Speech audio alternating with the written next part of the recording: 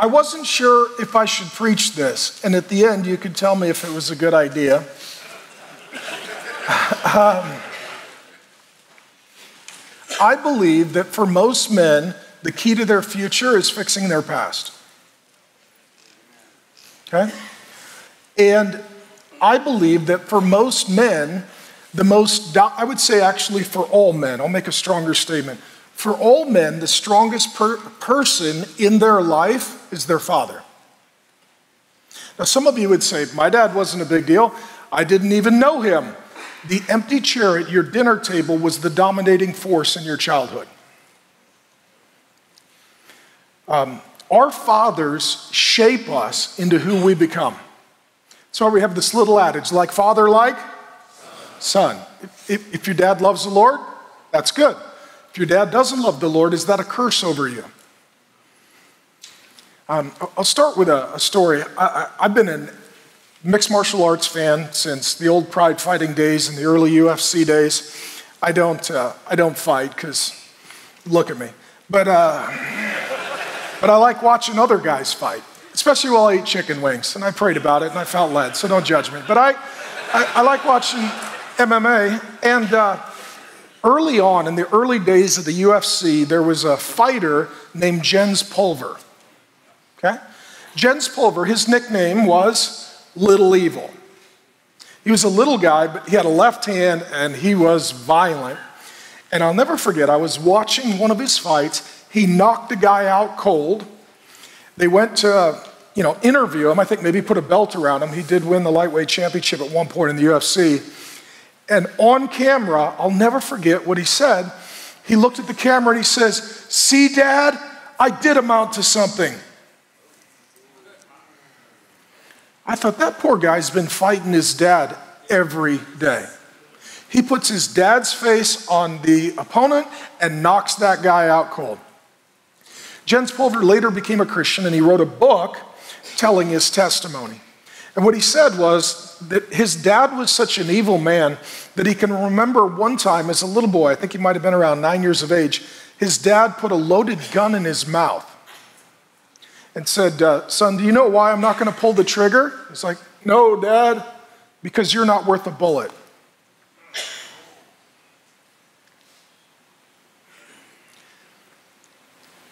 There are seven, or excuse me, five kinds of dads. There's the tragic. There's the tragic no dad, meaning your dad wasn't there not because he didn't love you, but because something tragic happened. Your dad died. He got cancer. He was in the hospital. He, something cataclysmic happened, so he wasn't there. It was tragic. How many of you, your dad was a tragic dad? It was tragic. What happened? You have a heart for your dad. You're like, what happened? He wasn't in my life like he should have been, but it wasn't because he didn't care. It's because circumstances prevented. A lot of you are soldiers, and you know exactly what this is like. My dad died. He loved me. It was tragic. Some dads are terrible, and they, they will leave they just run out on mom, get her pregnant, have nothing to do with her. Abandon the kids. They're just terrible dads. They're, they're not helpful, they're not present, they're not generous.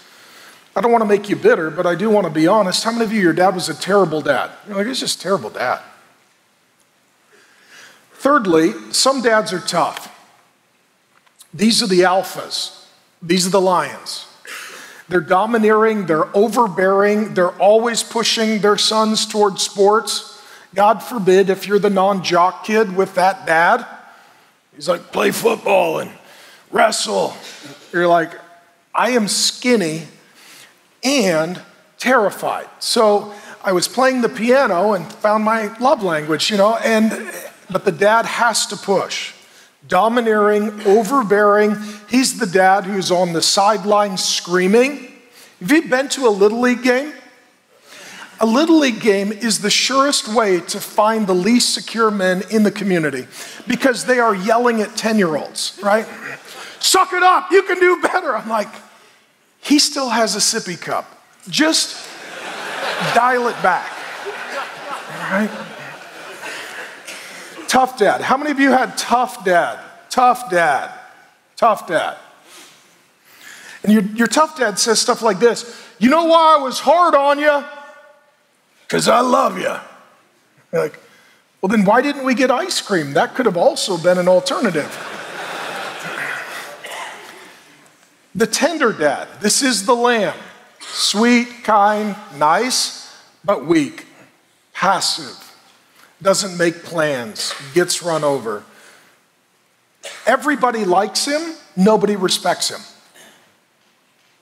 Oh, your dad was such a nice guy. Did you respect him?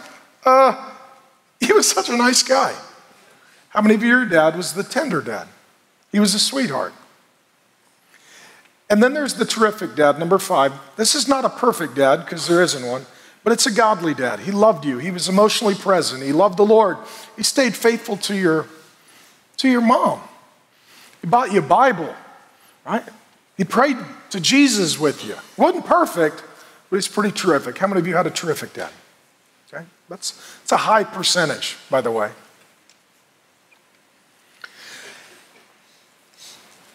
In the Old Testament, and this is going to be more of a conversation than a lecture, there's 400 years of silence before Jesus comes, and there's an Old Testament prophet named Malachi. And he says that there are two kinds of cultures. This can be your nation, this can also be your family. Malachi 4 6, here's the end of the Old Testament. His, that's Jesus' rural, homeschooled, redneck cousin John, right? I'm, I'm, assuming you guys have rednecks here. You have, you have kids that live out in the woods and only eat what they can kill. Um, some of you are like, isn't that everybody? No, it's not. Um, John he was the homeschooled kid out on the farm with his parents, and it says that he only ate bugs and honey. You're a weird kid if you're like, yeah, bugs and sugar. That's what I grew up on. And, uh, and he wore a Jedi robe. So he's quite a personality. His John's preaching will turn the hearts of the what? The fathers to their. Who's coming? Jesus. Why is he coming? To take men's hearts and turn them toward their children. Only Jesus can really do this. Um, do you know what the leading cause of death in the world is this year? It's abortion. Those are guys that don't want to be dads, but they do want to have sex. They don't have hearts toward their children. God can forgive that, but we have a whole culture that the father's hearts are not toward the children. And the hearts of the children, he says, to their fathers. But whose heart goes first? The father's heart is supposed to go to the child. That opens the child's heart so that they also have a heart for the father. Otherwise, I will come and strike the land with a what? America's cursed. How do I know? Look at the hearts of the fathers. Look at the hearts of the fathers. Today, the majority of kids born to women 30 and under are born out of wedlock without a father. What that means is the norm today is not to have a dad. Is it any wonder we have gender confusion, gender identity crisis, sexual confusion? People don't even know a healthy man. Men are waiting until their early 30s to marry. It's the longest in history, and in the middle, they're dating, relating, and fornicating. The number one consumer of pornography is 12 to 17 year old boys. Which means if a boy starts actively looking at porn at 12 and he is statistically going to marry at 30, 31, or 32, that's 20 years of porn and girlfriends, and then we wonder why that marriage isn't healthy. The least likely person to go to college is a male, not a female. The least likely person to go to church is a male, not a female. And now in our nation, it is less likely for a male to have a driver's license than a female. Guys are so living off the backs of their mothers and being irresponsible that they're not even getting driver's licenses. How does all of this happen? It's a cursed culture. You need to know that America is a cursed culture. How do you reverse the curse?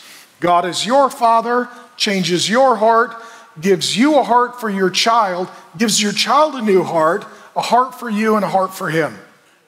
It all starts in the hearts of men.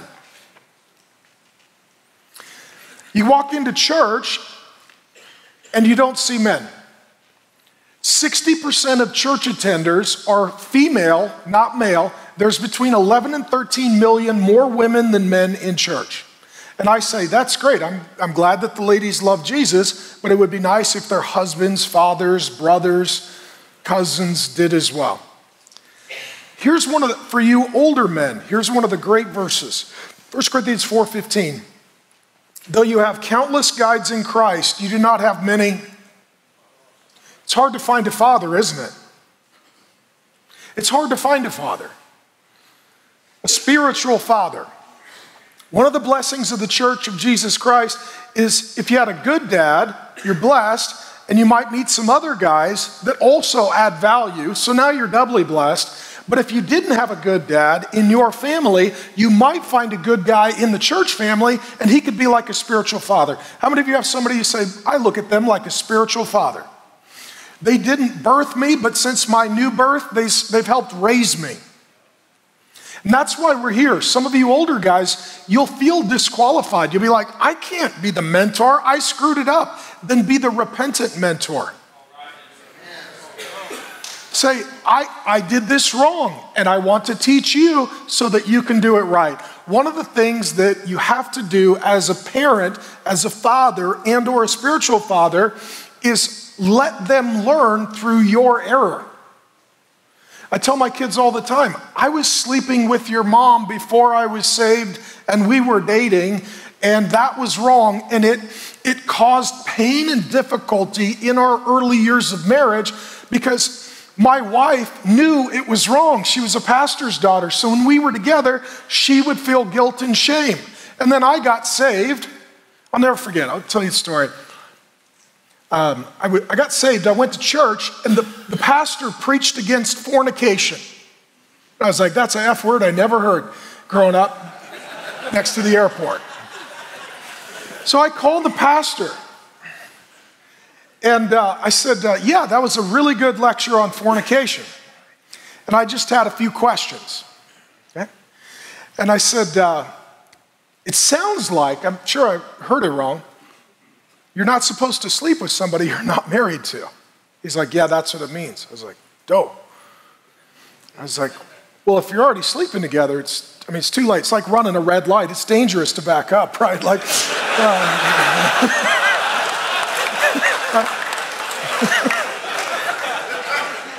He's like, No, you got to stop. I said, All at once? He's like, Yeah. He said, Who's this for? I said, Oh, it, it's for a friend.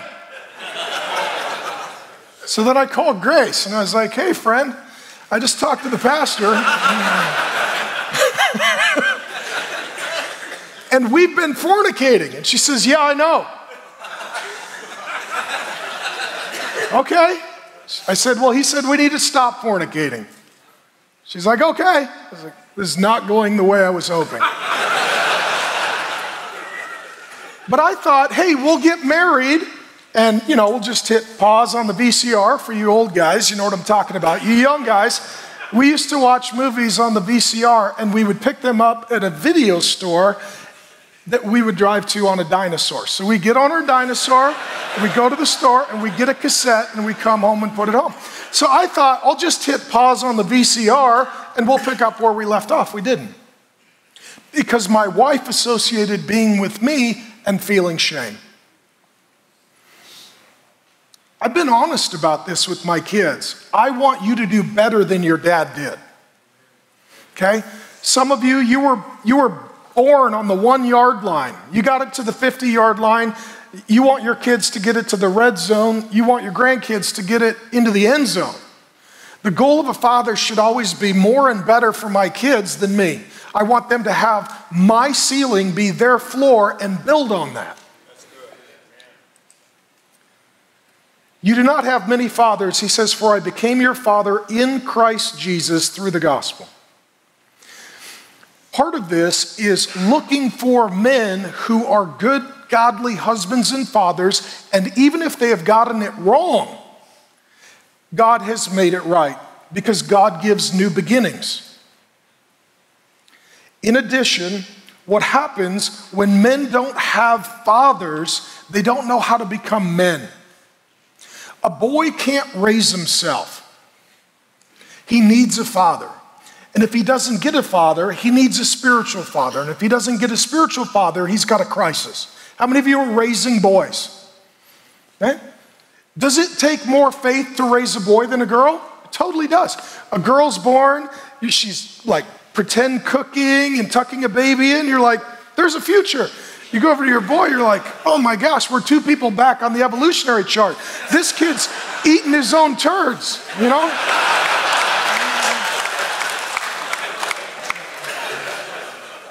Not my family, just one I know about. So, it takes faith to raise a boy, and it takes a man to raise a man. So, here's what we have. I'll give you two verses. Something in our culture that I will call the father wound. John 14, 18, Jesus says, I will not leave you as orphans. If you have a father wound, you have an orphan spirit. An orphan spirit is I'm on my own, nobody cares, help is not on the way, I'm abandoned. That's the orphan heart. Paul says to the Galatians that we have received adoption as sons. What this means is that as a Christian man, God is now your father and he's adopted you into his family. This breaks generational curses in family lines. And the first thing that your heavenly father will want to teach you is how to forgive your earthly father. Every one of our fathers had faults, flaws, and failures. Some of you are really good dads, but you know where you've fallen short. It doesn't matter how great your dad was, you still have things you need to forgive. Forgiving your earthly father warms, opens up, transforms your relationship with your heavenly father, and teaches you how to be a good son and grows you up as a man. And here's what I'm saying your view of God, this will be a little controversial. Your view of God is largely a projection or a rejection of your earthly father. Prove it to you. Um, atheism says, I have no dad. Agnosticism says, I have a dad, but I don't know him and I don't care to meet him. Uh, deism says, I have a dad, but he lives far away, he's non relational, he's not involved in my life. Calvinism says, I have a dad, but he's a little domineering, overbearing, and sometimes gets angry. Arminianism says, my dad kind of lets me make my own decisions, doesn't really involve himself in my life. Progressive Christianity, it postulates that God is basically a father who is acting like a brother. Whatever you want to do, he'll let you do and he'll help you do it. He's not going to raise you up, he's going to participate in your folly. And then feminism says, you know what? We'd be better off calling God mother because we don't like our father. Your view of God is likely a projection or a rejection of your earthly father. If your dad was a lion, you probably see God as a lion. If your dad was a lamb, you probably see God as a lamb. If, if your dad was a hypocrite, you'll probably see God as non trustworthy and inconsistent. By forgiving your earthly father, you are removing the lens through which you are perceiving your heavenly father.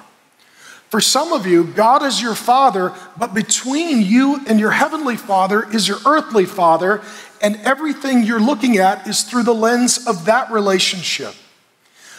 My hope, prayer, and goal would be start with God the Father and then examine your earthly father. Don't start with your earthly father and make that the lens for your heavenly father. Now, part of the problem becomes this there's very little teaching on God as Father. Okay? For those of you guys that are like a little more theological and nerdy, if you go to a Pentecostal or charismatic church, which member of the Trinity they talk a lot about? The Holy Spirit. And if you're in a real Pentecostal church, it's the Holy Ghost, right? And the Holy Ghost is code word for happy hour because everybody goes crazy, okay? So let's say let's let's say that you're in a mainstream evangelical Baptist church, right? Baptist church. Which member of the Trinity you're going to hear the most about? Jesus. There is no tradition in modern Christianity that emphasizes or focuses on the fatherhood of God. There are innumerable books written on the Holy Spirit. I wrote one. There's innumerable books written on Jesus. I've written a ton. I can't find many books written on God the Father. Some of you, the reason you love Jesus, this will be a prophetic insight, is because you love the fact that the Son is the hero.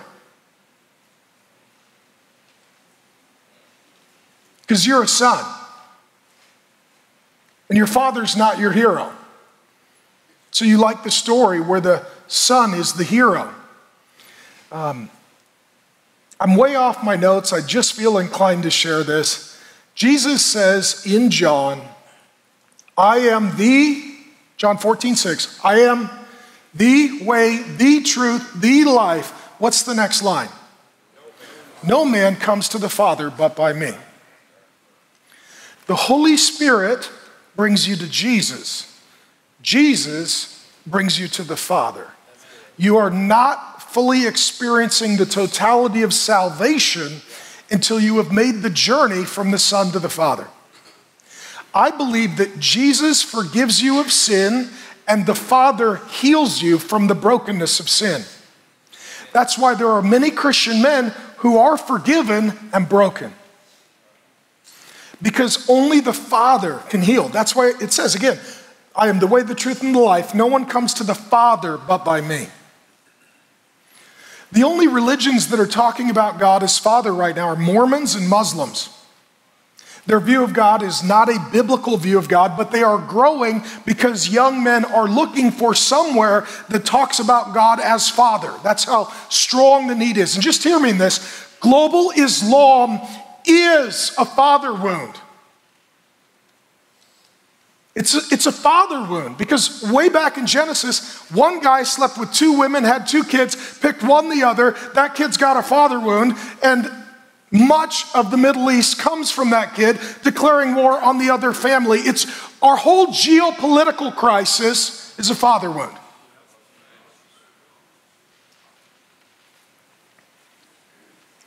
So, where do you go to learn about God as Father? If you go to the Old Testament, it's very patriarchal and it talks a lot about fathers. Whole genealogies. This guy begat that guy, they're all patriarchal. I only found 15 times in the Old Testament that God was referred to as Father. Two thirds of the Bible is in the Old Testament, one third is in the New. In the two thirds of the Old, I only found 15 occasions where God is referred to as Father, and it's always over the nation of Israel, no individual. And then everything changes. Jesus had a favorite word for God. He used it 165 times in the four Gospels. Do you know what that word for God is? Father. Jesus' favorite word for God was Father. That word is Abba. It, it's not just the word that little children use, it's also the word that grown children use. So my, my son's 20, my daughter's 22. They call me dad, not daddy. That's more what Abba means dad, father. When, again, off my notes, just feel inclined to share. Jesus taught us to pray how? Our Father. What Jesus doesn't say is focus on prayer. What he says is get to know your dad. If you know that God is your father, you're going to talk to him. If you don't talk to him, it's because you don't know him as your father. How many of you are dads with little kids? Any of you dads with little kids? Do your kids ask you for things? right? Yeah, they do, right? It's, you know, bedtime. They're like, Can I have a Mountain Dew and fireworks? No, no, you can't. You can't. Oh, come on, Dad, don't be legalistic, you know, be grace based. So, um, if a kid knows that their father loves them, that he is for them, they ask him all kinds of things. They make questions and requests. You are grown men, but you're still the sons of God. If you understand that God is Father, you're going to be more likely to talk to Him. Hey, Dad, had a rough day. Hey, Dad, you know, I married one of your daughters. Woo, what do I do with her? You know, like, what do I do? I feel like I married the devil's ex wife. Dad, I need help, you know, so uh, probably shouldn't have said that, but nonetheless. How many of you have a good dad, but even as a grown man, you still go get counsel from your dad or ask help from your dad? My dad was a general contractor building inspector. Before I buy a house, I call my dad. Hey, dad, could you come look at the house? Sure. I, I still need my dad, even though I'm a grown man. You're grown men, but you still need your dad. So let me hit some things quickly about Jesus. He is the Son of God. This is not accidental language. God knows, perhaps, that it is harder to reach men than women, so he reveals himself as Father and Son to give us a healthy understanding of a masculine, loving relationship, something that our culture does not understand. Jesus lived from the Father's identity. Luke 3:22, a voice came from heaven. This is at the baptism of Jesus. Jesus goes down under the water, comes up. The whole Trinity is present. The Holy Spirit descends upon the Son of God in the form of a dove. God the Father says from heaven, What? This is my Son, in whom I am well. What had Jesus done to that point? Nothing. He hadn't preached a sermon, he hadn't cast out a demon, uh, he hadn't performed a miracle. He hadn't done anything. Do you know that you work from the Father's approval, not for the Father's approval? If we understand how the Father parents us, that informs how we parent. I would never look at my kid and say, Here's your job description. If you do a good job, I will then adopt you as my son and be pleased with you. Instead, when my son is born, he is my son. And nothing can change that. And I am pleased with him even though he's not done anything. How many of you are going to go home tonight and you're going to hold a little boy with your last name who's your son and he didn't do anything today and you're pleased with him? But he just, he yelled, he puked, you know, filled his diaper, and he's awesome, you know, and I love him. Right? But if the guy sitting next to you was doing that, you would not feel the same because he's not your son. Okay? Jesus' identity was then attacked. If you know the Bible, in the next chapter, Satan comes to Jesus and he says, If you are the Son of God, you need to know this. God calls you son, and Satan wants to attack your identity. If you are the Son of God, he's attacking the very words of God the Father over his Son. And let me just say this life and death are in the power of the tongue. the words that we speak either bring blessing or cursing over our wives and children. When the Father says, This is my Son in whom I am well pleased, blessing, honor goes over Jesus, not cursing and dishonor. Let me tell you this if you want your kids to rise up and do better, see them where they will be when God's grace is done with them, not where they are, and then help them to do what the Bible says live up to what they've already attained.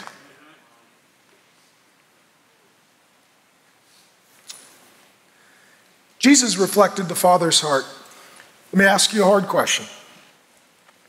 How many of you feel a lot more warmth toward Jesus than God the Father?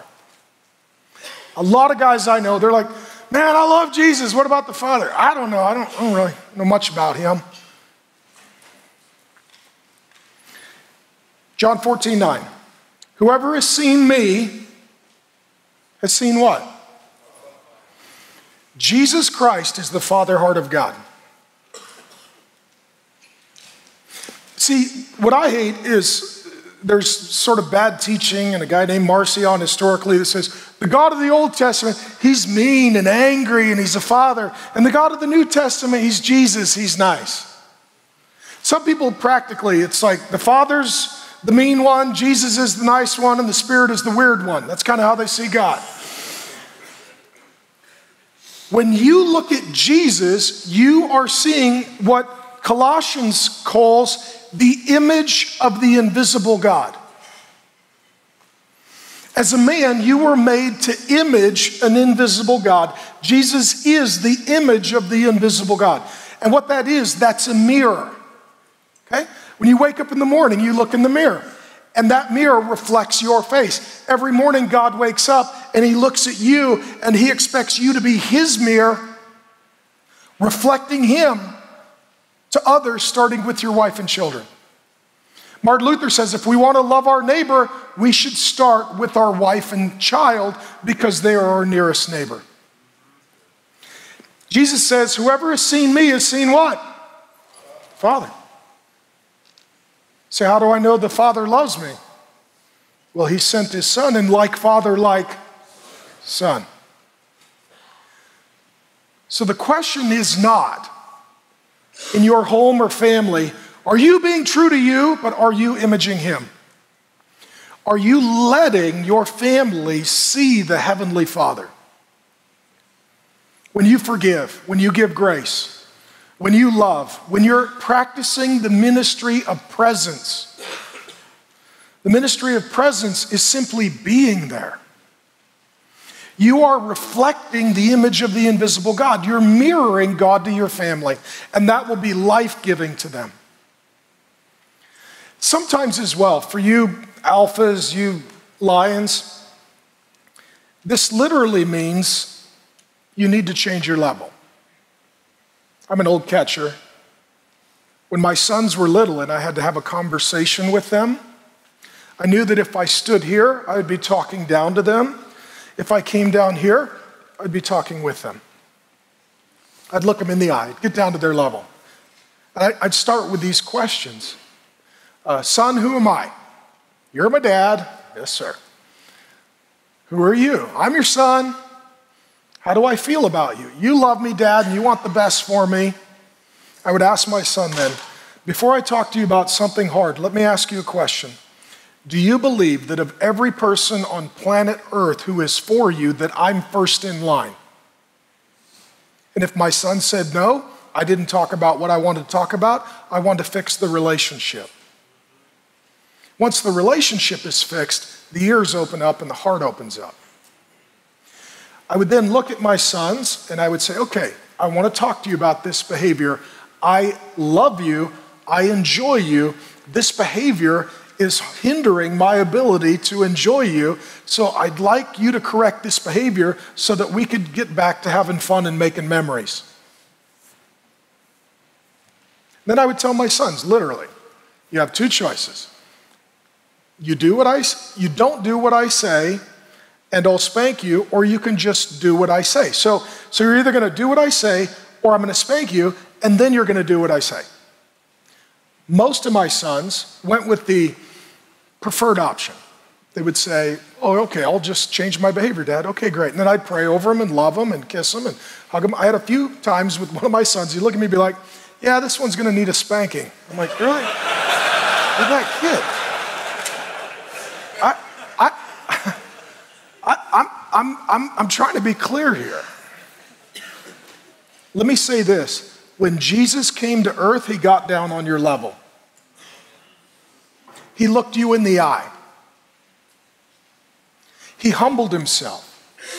And that is the Father heart of God to come down and to be with you and to be present with you and to be invested and involved in your life.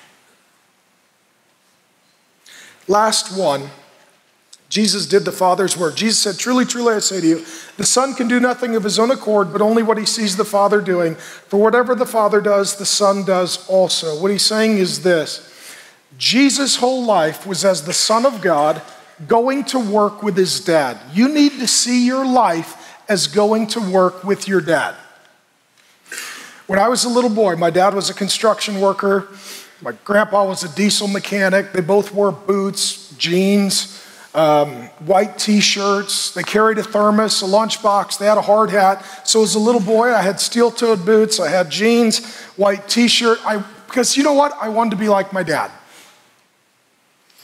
And there were times my dad would take me to the job site as a little boy.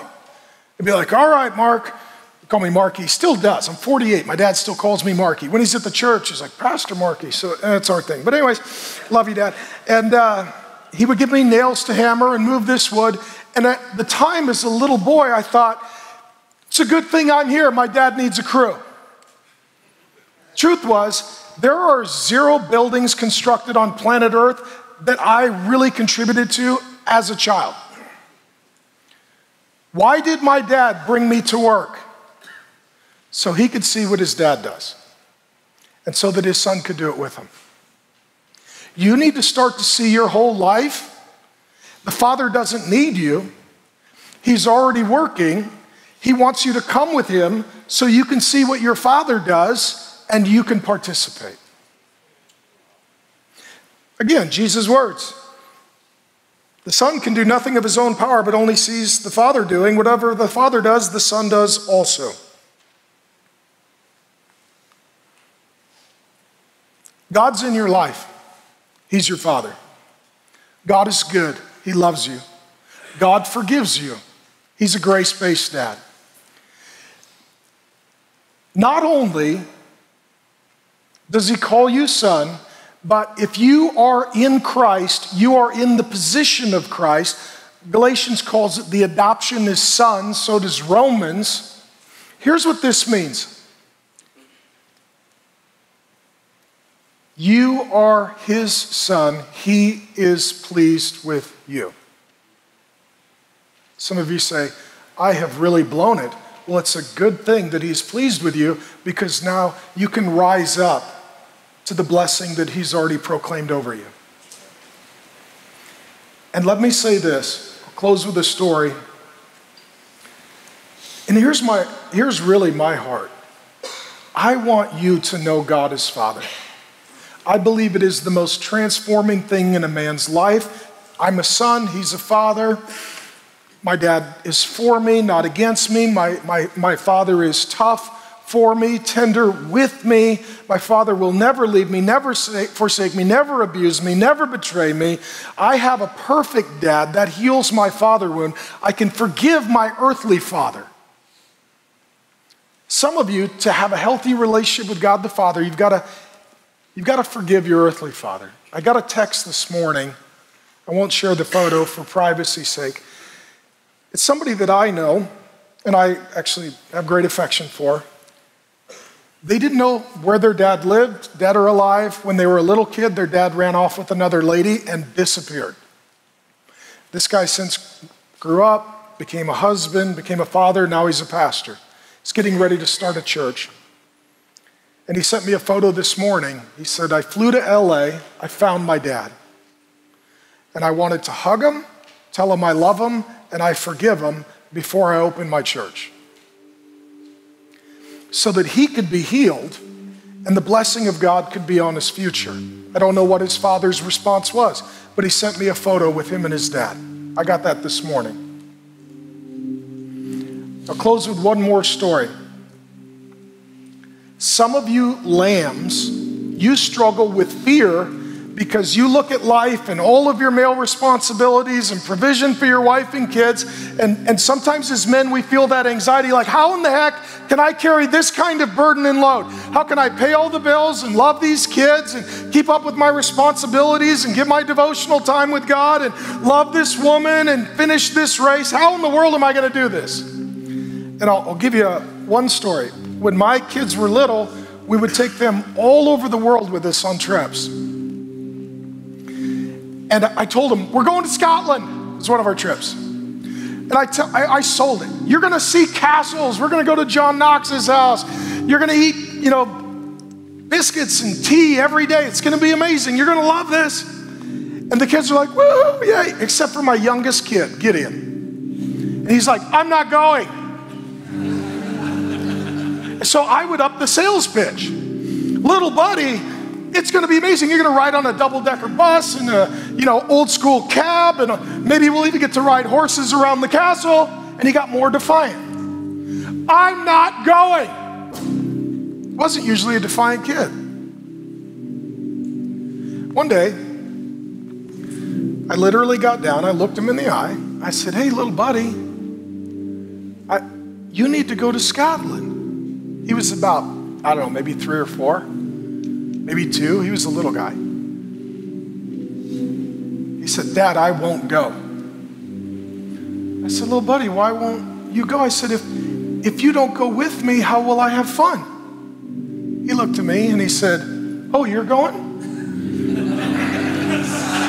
I forgot to communicate that. He's two thinking, I gotta have a, a connecting flight at Heathrow I got to find a hotel. I need to exchange the money. I'm out. I'm two. When you realize that you go through life with your father and not alone, it takes away the fear and it makes it all a great adventure. Your father is going with you. He's going with you to apologize to your wife. He's going with you to apologize to your kids. He's going with you to work. He's going with you. Your Father loves you. He wants to do life with you. He wants to be present with you. You are His little buddy, and with you, He is well pleased. Father God, I, I thank you that we get to call you Father. And Lord, I pray for all these men. If any are not yet sons of God, would this be the time that they trust in Jesus, that they get a new heart? that they get the father heart of God, a heart that they can share with their wives and kids and others. And God, I pray for each of these men. In varying degrees, we've all got a father wound because all of our fathers were sinners. But God, could we forgive our fathers and be grateful for whatever it is they did for us, gave to us, or deposited in us? And Father, I ask for the Holy Spirit to come, the Spirit of revelation and to help these men see moment by moment, day by day, incredibly practically, that you are a father, that they are a son, that every day is going to work with dad, that every day is an adventure with dad, but that dad has a plan and that dad knows the details. And as long as we stick close to our dad, we're going to be just fine. I know that some of these men want to be good husbands, they want to be good fathers. First, may we all become good sons. In the name of the Son of God, amen.